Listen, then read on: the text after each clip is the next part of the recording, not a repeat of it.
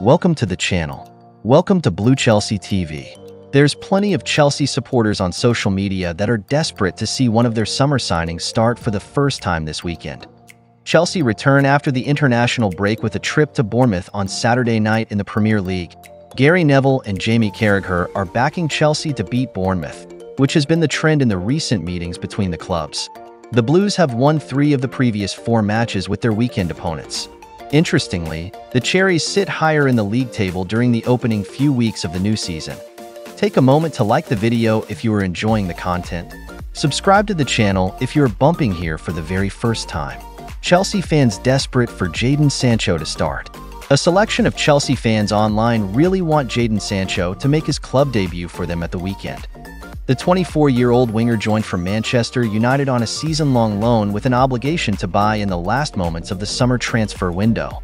Hopefully, the Englishman can rediscover his best form after a difficult few years in Manchester. Here are some Blues supporters on X calling for head coach Enzo Maresca to include Sancho in the starting lineup versus Bournemouth. One fan said, I think Jadon Sancho should start against Bournemouth. He has been training for two weeks. Another wrote, I just want Sancho to start and to get off with a goal. One supporter posted, Yeah, I would start Sancho against Bournemouth. Been at Cobham for a week or so learning the system and a good game to start him. Another claimed, I think Sancho and Madueke need to start because Bournemouth can play low block and Sancho or Madueke are very good on 1v1 situations. Sancho's yet to show his best form in the Premier League, but perhaps the change of scenery will be the perfect solution for him. Let's not forget that he was devastating in the past for German club Borussia Dortmund.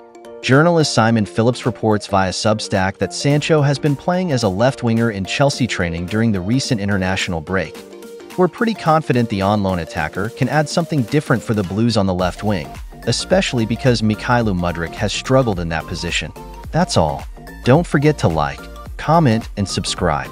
See you later with another video. Until then, bye-bye.